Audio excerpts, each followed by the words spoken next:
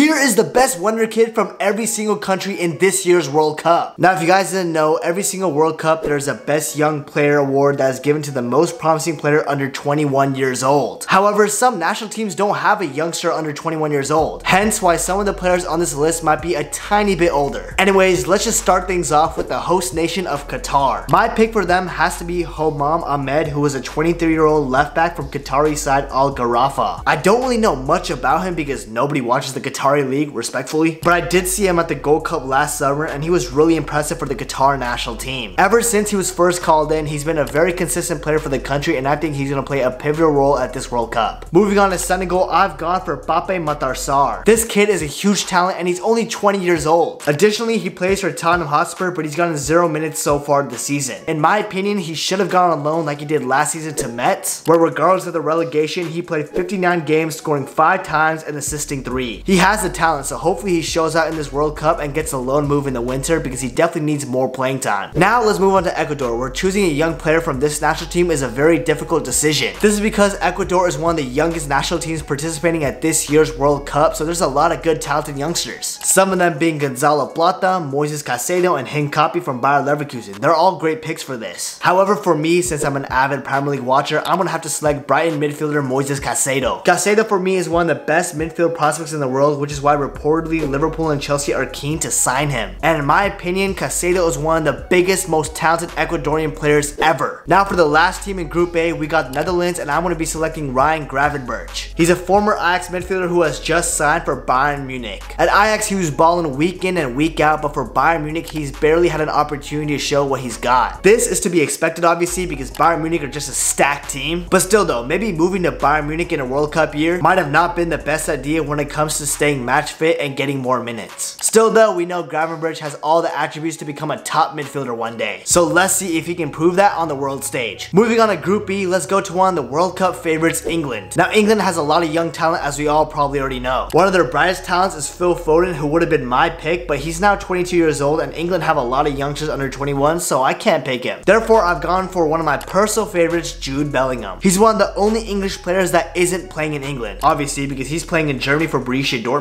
But in the Bundesliga, he's one of the best talents in the league, and overall, he's just a great midfielder and has good leadership qualities. In fact, he even captained Dortmund recently, which shows he could be a true leader. It does seem like eventually Jude Bellingham will join the Premier League because there's a lot of clubs interested in him like Chelsea, Manchester United, and Liverpool. So the fact that big clubs in England want to sign Bellingham is just a testament to how good of a midfielder he is. Now let's move on to my country, the United States of America. Let's go, baby! Now the obvious choice would be Giovanni Reyna, who in my opinion has the most potential to become the best American player ever. Yes, even more potential than Pulisic. But for me, in the last year, he has been too injury prone and I'm not sure the US can rely on him just yet. And I also want to be different from everybody else, so I'm going to be selecting Yunus Musa. Musa's potential is massive as well and him and Gio Reyna are going to run that USA midfielder for years to come. Anyways, a fun fact about Musa is he's actually an England youth international who switched to the US at senior level and is a starting midfielder for Valencia in Spain. Just overall though, Musa has everything, bruh. He's a good dribbler who can also finish because we all saw that goal against Atletico Madrid that was called off. That was an absolute rocket. And he drops good assists to his teammates as well. He just has all the attributes of a good midfielder. And because of Musa being more consistent in the last season compared to Gio Reyna is the reason why I selected him. He's definitely going to be a key piece in this World Cup for the US and for World Cups to come. Now going to Iran, I apologize if I butcher his name, but I'm going to be selecting Hull City striker Allahyar Sayyadmanesh. He's a 21 year old forward and in 2018 he was named one of the top talents of the world. This season it not been going well for him though because he recently just got a hamstring injury and he's been out for some time so I don't know whether he'll be back for the World Cup or whether he'll be in form or not but he's still going to be my pick. Now usually when people mention Iran's attack I always think of Mehdi Taremi and Sardar Azmoun. Those two are the main forwards for the Iranian national team. But having a depth piece like Sayyadmanesh is really good to have. Anyways let's move on to Wales where this wonder kid pick was pretty easy. I've gone for the 21 year old Brennan Johnson from Nottingham Forest. Now in the Premier League so far Nottingham Forest have been very poor but Johnson has been putting in a shift for them getting 2 goals in 7 games. Also last year he helped Nottingham Forest get promoted because in 46 games he had 16 goals and 9 assists. So the talent is definitely there for Brennan Johnson. Let's see if he performs at the World Cup. Now moving on to Group C, we got Argentina and the player I selected is going to be Julian Alvarez. He's an obvious choice because the Argentinian forward is one of the top talents coming out of the country right now. He also recently joined one of the best clubs in the world, Manchester City. Now he can't officially win the best young player award because he's actually 22 years old, but as good as Argentina are right now, now, they don't have many young talents bursting out on the scene. Therefore, I literally have no choice but to say Julian Alvarez. Now, we all know how good this guy was for River Plate because in 26 games, he's had 18 goals and 6 assists for them. And he also started off strong for Manchester City because he has 3 goals in 8 games already. So for me, he's the best young talent that Argentina have right now. Now, we got Mexico next, and they have some good, decent young players as well. Now, I can't select Diego Lainez because he's over the age limit of 21, and he also sucked at Real Betis, so I'm not going to be saying his name regardless. Mexico do also have that young Canadian talent Marcelo Flores, but for me, I think that loan move to La Liga 2 side Real Oviedo wasn't the brightest decision. He literally hasn't done much for that team at all since he's got there. Therefore, my pick for Mexico is actually going to be Santiago Gimenez. He could represent Italy, Mexico, or Argentina, his birthplace, but has chosen to represent Mexico instead, which makes sense because he developed at Cruz Azul. But now he plays for Feyenoord because he moved there last summer, and he's been doing great for that club right now. In the Eredivisie so far, he's got two goals and one assist, and he also has three goals in two games in the Europa League. However, I've heard reports that the Mexico head coach Tata Martino is not going to select Santiago Gimenez for the World Cup squad, and I think that's just an outrageously stupid decision. Raul Jimenez is injured and has not been the same this season. Alexis Vega is okay, I guess, and Funes Mori.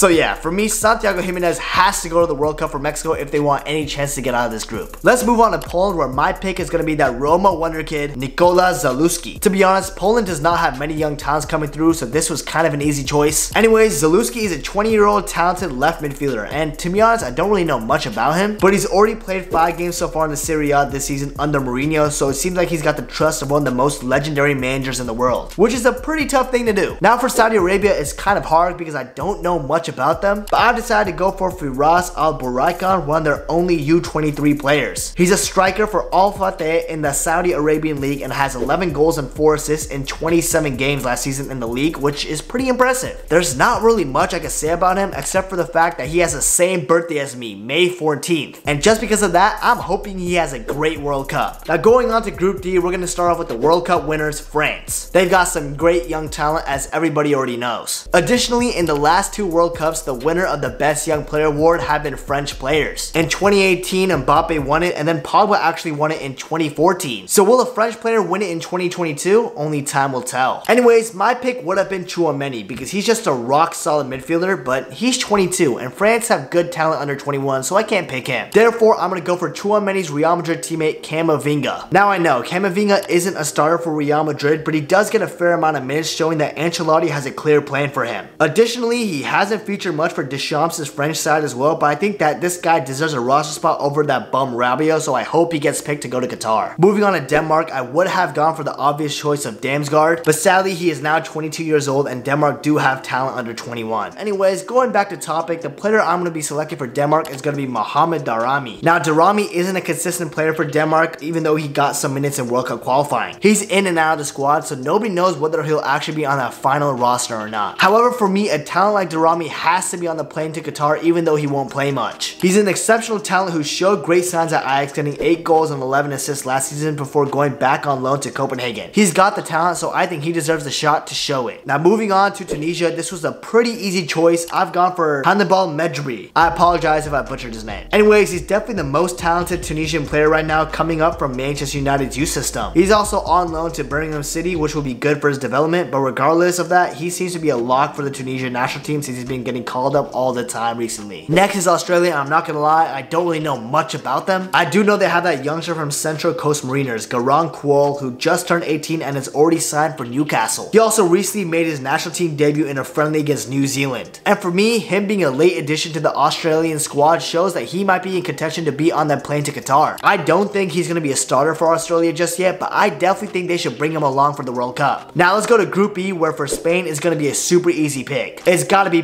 Pedri, who despite being only 19 years old is already one of the best players on Barcelona and on the Spanish national team. For me, he's a generational talent who can fill the boots that Xavi and Iniesta left. He's a complete midfielder who does very well on both the defense and the offense. Barcelona and Spain have a real gem on their hands and he could be the actual winner of the Best Young Player Award as long as Spain does well at the World Cup. Moving on to Germany, this is also a pretty easy pick. I'm gonna have to go with the attacking midfielder from Bayern Munich, Jamal Musiala. Musiala is rated one of the best young players in the world if not the best young player in the world. He plays a crucial role for Bayern Munich and is pretty much a starter for them at the age of 19. And in the Bundesliga alone this season, he already has 5 goals and 3 assists in 7 games. Having stats like that at the age of 19 is simply sensational. England messed up big time by letting a talent like this switch from them to Germany because a midfield duo between Musiala and Bellingham could have been deadly. Now we got Japan, which is my second national team. And no, I'm not Japanese at all, but I love anime and manga. And Japan is the number one country I want to visit, so yeah, I do have a soft spot for them even though they slapped up my real country USA 2-0. Anyways, the best young player for Japan has to be Takefusa Kubo. Even though it feels like he's been on the scene for a long time, he's still only 21 years old. He's a good left-footed winger who has tricky skills and great pace. He's been bouncing from La Liga clubs going from loan to loan from Real Madrid. However, he has finally decided to settle down and leave Real Madrid to join Real Sociedad. And in six games so far in La Liga, he already has one goal and one assist. He was one of the most hyped up players in Japan a couple years back, and that talent still hasn't disappeared. So let's see if he can show that talent on the world stage this winter. We got Costa Rica next, and I actually visited this country this previous summer, and I had a lot of fun. There's beautiful weather, beautiful beaches, beautiful women. I'm getting a little too ahead of myself.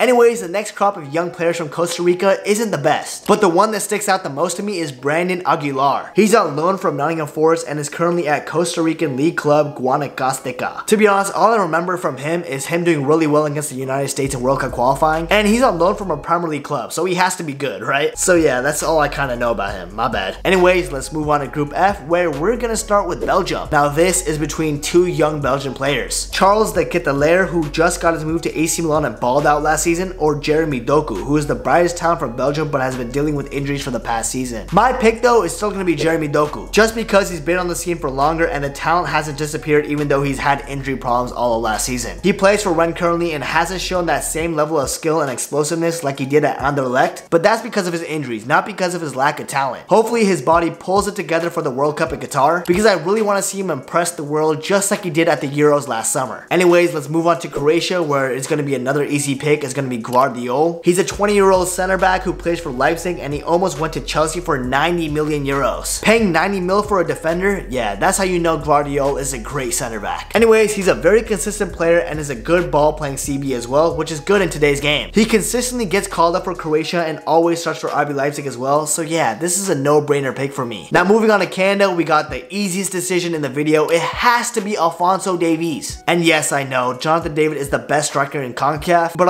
Alphonso Davies is the best player in CONCACAF, so that doesn't matter at all. This guy's still only 21 years old and he's been a consistent star for Bayern Munich for years now. He's also one of the best left backs in the world and has good technical skills and pace to haunt national teams at this World Cup. Now to Morocco, the easiest choice would have to be Hakimi, but he's 23 years old now and Morocco actually has talent under 21, so I can't pick him. Therefore, I have to go with the Barcelona product, Abdessamad Ezzalzouli, otherwise known as Abdi. I probably butchered that name, my fault. Anyways, he's a dual national with Spain, however, he was called up for the first time in Morocco in the latest September camp and played for the Lions. And after playing with them in the last international window before the World Cup, it seems like he'll definitely be on that plane in Qatar. So although none of us have seen much of Abdi, we all know he has the talent, so let's see if he can show it in the World Cup. Now going on with Group G, I could have gone for another easy pick in Vinicius Jr. However, Brazil have a plethora of talent under 21 years old, and Vinicius sadly turned 22 this summer, so I can't pick him. Therefore, I'm gonna go for his Real Madrid counterpart, Rodrygo. We all probably know Rodrygo, man. He was the one who spearheaded the comeback against Man City, getting two late goals and helping Real Madrid win the Champions League. Additionally, he's the one who scored against Atletico Madrid, which led him and Vinicius Jr. to dance on them in their stadium. Anyways, Rodrygo is a young talent who has been getting calls to Brazil, so it does seem like he'll be on that World Cup plane. And also, him and Vinicius could lead the lines for years to come. Moving on to Serbia, even though he's over 21 years old, I have no choice but to go for Vlahovic. Not only is he the best Serbian talent, he's one of the best young strikers in the world alongside Erling Haaland and dare I say it, Darwin Nunez.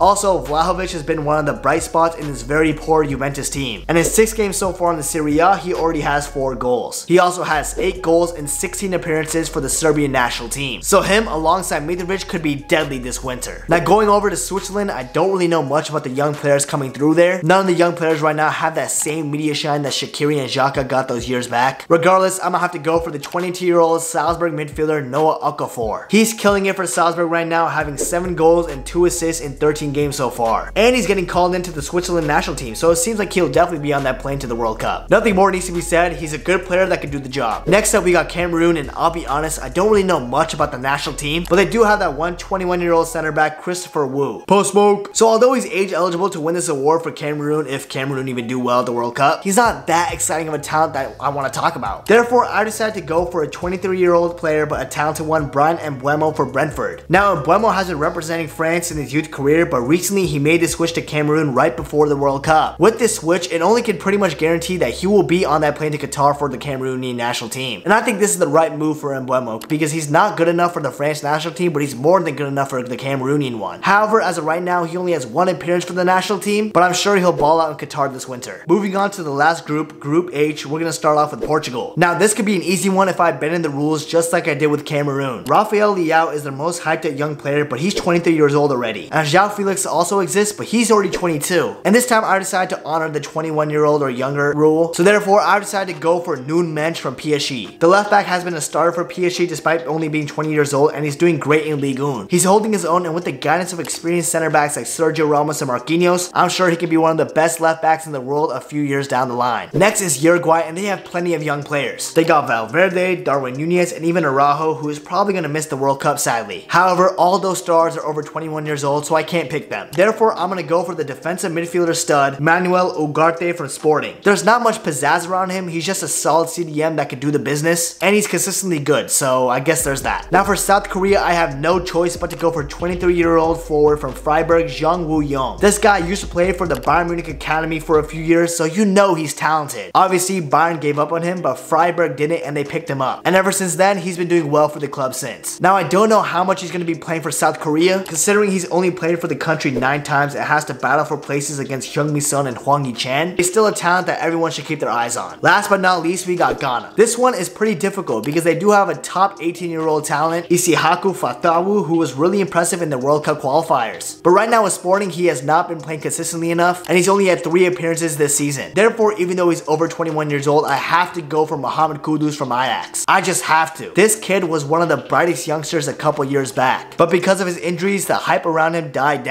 However, this season, he seems to have been reborn, and he scored some crucial goals for Ajax this season, like that one Champions League banger against Rangers, and a top corner screamer against Liverpool, which was Ajax's only shot on target in that game. Anyways, Kudus is a top talent, and he's one of my personal favorites that I'm definitely going to be keeping my eyes on. And trust me, Mohamed Kudus is going to be a star in football. Anyways, let me know down in the comments whether you agree with me on who I think is the best winner kid from each country in the World Cup. Remember to subscribe to the channel and also remember to hit the notification bell because it'll notify you whenever I drop a banger video. And also leave a like, let's try reaching 250 likes this video. Also follow my Twitter at Nabhuto. I would seriously appreciate it. I'm kind of lonely. So yeah, I hope you guys enjoyed this video and I'll see you guys in the next one. Peace!